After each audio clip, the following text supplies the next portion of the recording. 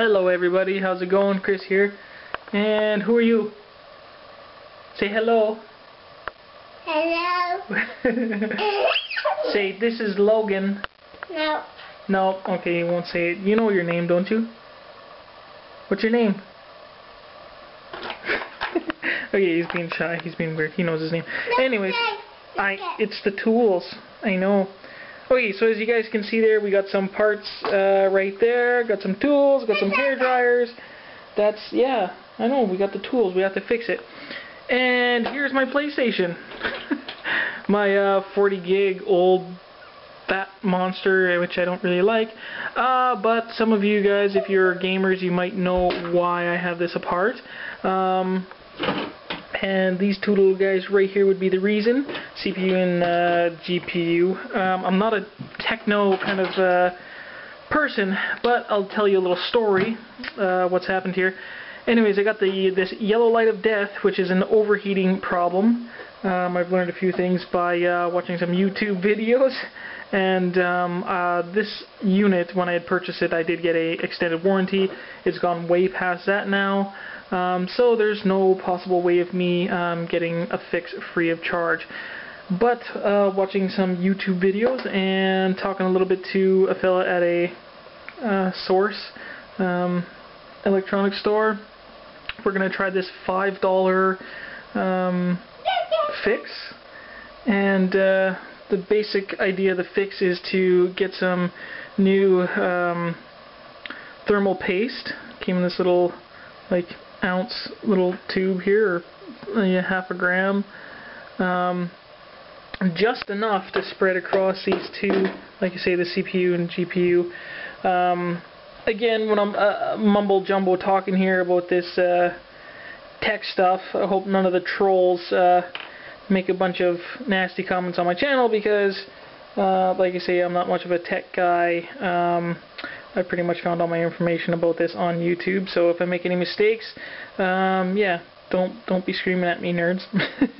okay, so this is my predicament. A new PlayStation would cost me about 250 bucks. I'd prefer not to do that right now, of course, because I got him to pay for.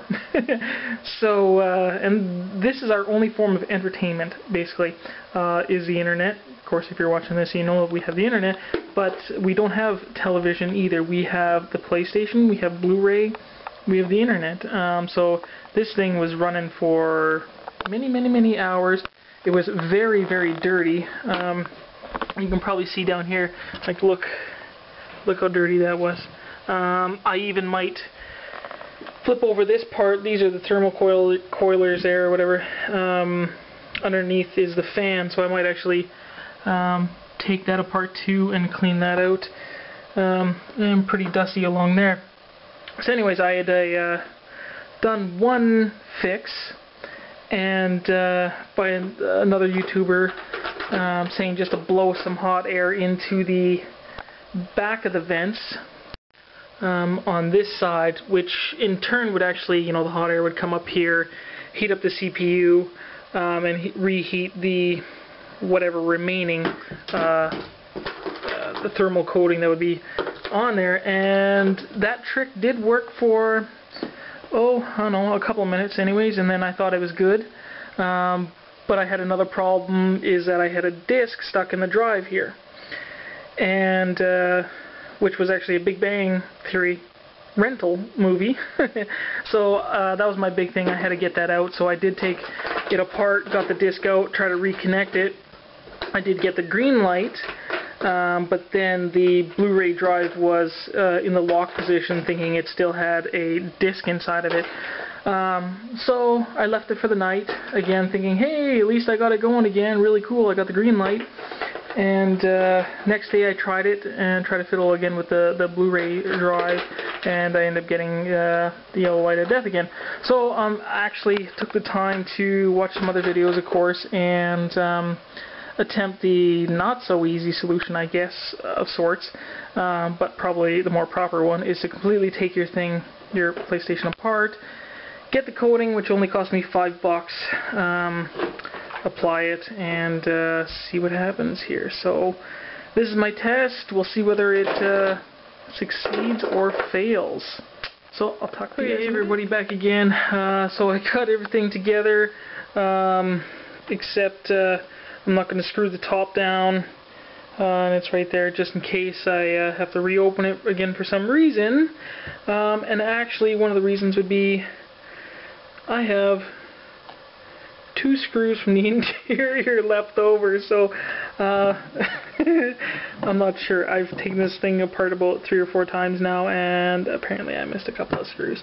Um, so anyways, here's the test. Oh, goodness.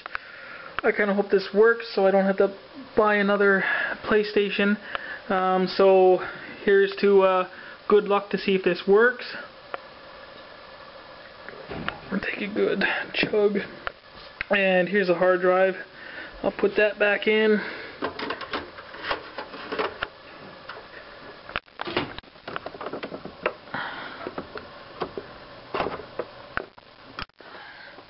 There we go. I'll put the screw in after. Uh, I might as well try to see if it works with the controller.